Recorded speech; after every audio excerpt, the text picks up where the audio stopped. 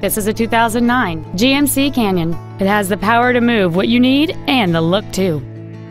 This truck's luxurious features include power windows, cruise control, air conditioning, an anti-lock braking system, a traction control system, and this vehicle is like new with less than 1,000 miles on the odometer. The solid engine, connected to a smooth shifting automatic transmission, gives you the edge in almost any driving situation.